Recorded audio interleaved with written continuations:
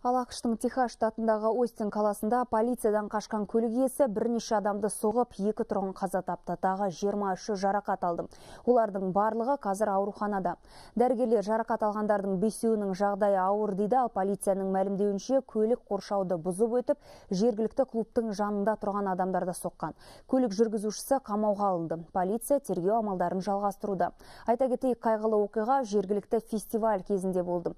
Остиндегі мерекелік шара кезінде фильмдер көрсетіліп, музыкалық топтар өнер көрсетеді және әртүрлі тақырып бойынша конференциялар өтеді.